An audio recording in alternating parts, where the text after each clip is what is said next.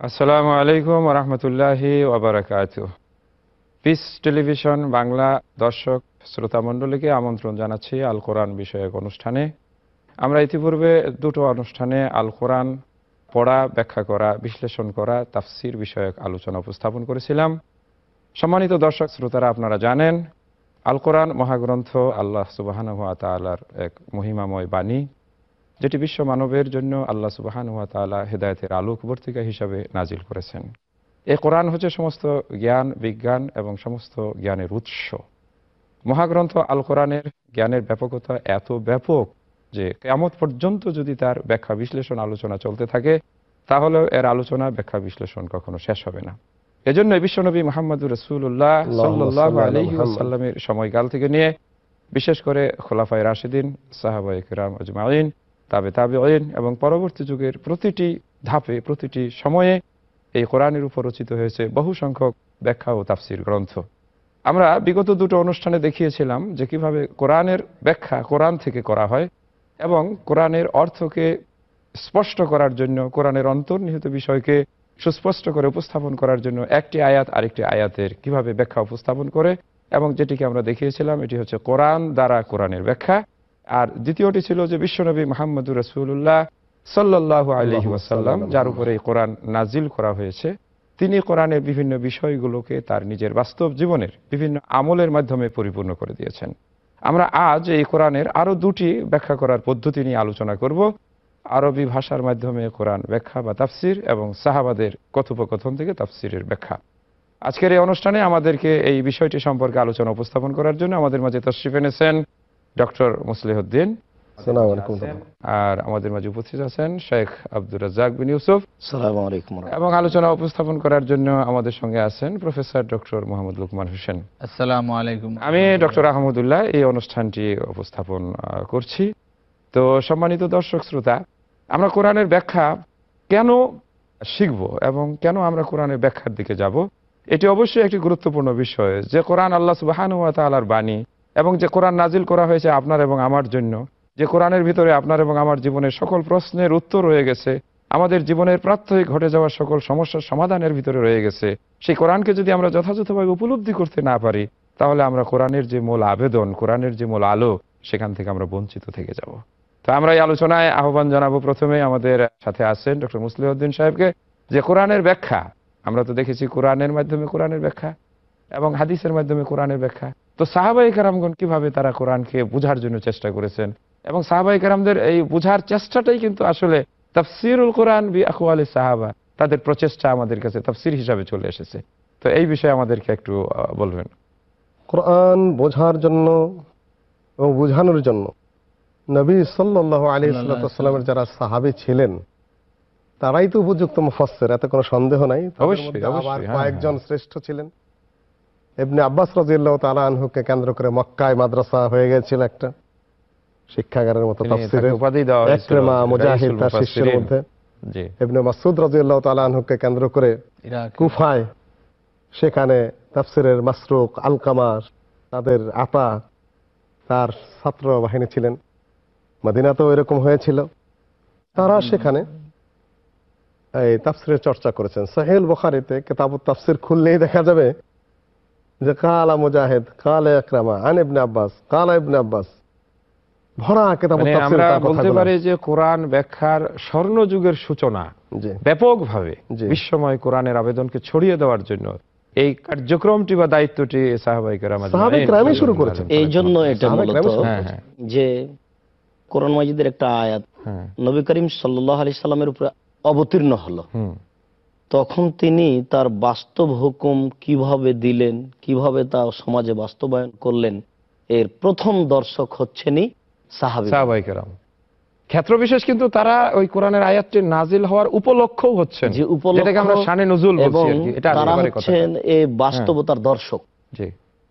এই হিসেবে একটা আয়াতের তাফসির কি হতে পারে এটা খুব স্পষ্ট হবে সাহাবিগুনের মাধ্যমে। যেরকম মাসুদ রাজিল্লাহ বলেছেন যে কোরআনের কোন আয়াতটা কখন কোন প্রেক্ষাপটে নাজিল হয়েছে তা আমার বেশি কেউ জানেনি নিজে বলেছেন এইভাবে এখানে একটা প্রসঙ্গ আনলে স্পষ্ট হয় বিষয়টা। জি।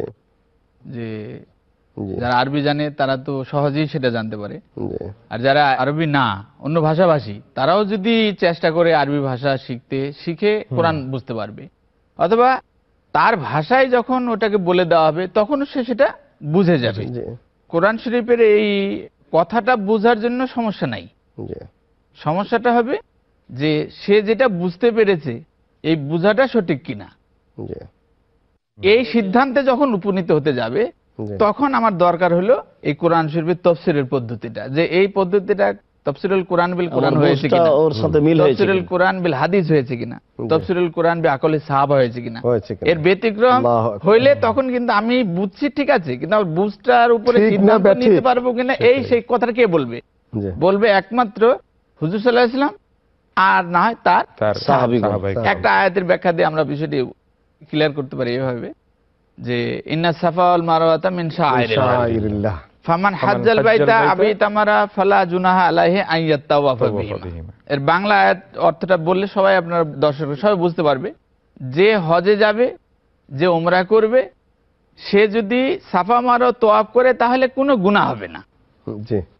এই আয়াতের যে অর্থটা আমি আপনাদের সামনে বললাম দর্শকরা শুনলেন এখান থেকে যখন আপনি ডিসিশন নেবেন যে যেহেতু তোয়াফ করলে কোনো গুনাহ হবে না। তার অর্থটা চলে। হলো যে না করাটাই তো ভালো। না করা চলতে পারে কম বলতে পারে না না করাটাই ভালো। ভালো। কিন্তু কেউ করেই ফেলে তাহলে তার তার গুনাহ হবে না। এখন এই যে আমি আয়াতের অর্থটা বুঝলাম ঠিক আছে। কিন্তু এর উপরে যখন ডিসিশন নিচ্ছি যে আমার এই অর্থটা বুঝেছি এরপর ডিসিশন নিলাম যে তাহলে হজে সাফা সাই করার কোনো প্রয়োজন নাই। এইটা ঠিক কিনা? জি। অরওয়া ইবনে জুবাইর হযরত আয়েশা রাদিয়াল্লাহু তাআলা আনহার ভাগনা। হ্যাঁ হ্যাঁ। উনি যে বুখারীতে বিবরণটা রয়ে গেছে। উনি যে মা আয়েশাকে বললেন যে মা করেই বলতে ইয়া উম্মা। হ্যাঁ। যে তাহলে কি সাফা মারো আর তোয়াফ করাটা এরকম ব্যাপারটা? সাফা মারো আর তোয়াফ। এই জন্য কি হুকুমের দরকার আছে? আমরা তো এমনি বুঝি। তাফসিরুল কোরআন বি আকওয়াল সাহাবা। এটা তো আসলে যেটা বলব যে কোরআনের বাস্তব চিত্র এটার জন্য আমাদেরকে অবশ্যই সাহাবাদের নিকটে যেতে হবে। কারণ মানে- তারাই তখন এটাকে প্রত্যক্ষ করেছেন। এবং আমরা অনেক ক্ষেত্রে দেখেছি যে বিভিন্ন সাহাবাদেরকে নিয়ে ঘটিত বিভিন্ন ঘটনার পরিপ্রেক্ষিতে আল্লাহ সুবহানাহু ওয়া বিভিন্ন আয়াত যা যা আয়াত রাসূলুল্লাহ নাযিল ফাতহ করেছেন। নাযিল হলো এর অর্থ কি? সেই। এই নিয়েও তো সাহাবাদের মধ্যে হজরতে আব্দুল্লাহ আব্বাসের বিবরণ তাই না? যে এখানে কি বলা হয়েছে? অনেকে বললেন ওটা একটা বোখারি মুসলিমের হাদিসের ঘটনা। ইবনে আব্বাসকে বড় বড় সাহাবীর মধ্যে উমর রাদিয়াল্লাহু হ্যাঁ। তাআলা বসাতেন। তো বড় বড় সাহাবীগণ এতে কষ্ট পেতেন। এটা অস্বস্তি বোধটা উমর রাদিয়াল্লাহু তাআলা বুঝতে পারেন। তারপর সবাইকে ডাকেন। সেখানে আব্দুল ইবনে আব্বাসকেও ডাকেন। ডেকে তখন বলেন যে তোমরা সবাই বলো এই সূরার অর্থ তোমরা কি বুঝেছ? তখন এক একজন এক একটা বলল এবার উমর রাজিয়াল্লাহ আমি এই সুরার অর্থ বুঝেছি যে রাসূল থাকার তার তিরুধানের বিদায় হয়ে যাওয়ার ইঙ্গিত এটা ইঙ্গিত। আমরা এই মহানিয়ামতকে হারিয়ে ফেলব। তখন উমর বললেন যে আব্দুল্লাহ ইবনে আব্বাস যেটা বুঝেছে আমিও ওটাই বুঝেছি। এখন বিজয় এসে গেছে তোমার দায়িত্ব। লোকজন দলে দলে ইসলামে প্রবেশ করেছে এখন তোমার তওবা এবং ইস্তেগফারের সময় এসে গেছে বিদায় মানে তোমার প্রভুর দিকে এখন তোমার বিদায়ের ঘণ্টা বেজে গেছে। জি বিষয়টাকে জি। পরিষ্কার করার জন্য মনে হয় আরেকটা উদাহরণ দেওয়া যেতে পারে। জি। যে হুজুর সাল্লাহ আলাইসাল্লাম তার হিসাবের সময় খালি জিজ্ঞেস করা হয় যে তুমি কেন করলে? মুনাকাশা যখন করা হয় যে তুমি এই যে চুরি করেছ কেন করেছ? বা এই কাজটা করেছ কেন করেছ? এই প্রশ্ন দিয়ে জানবার কথা দিয়ে যখন আল্লাহ কাউকে জিজ্ঞেস করবে ফাঁকা ধালাকা তার নাজাতের কোনো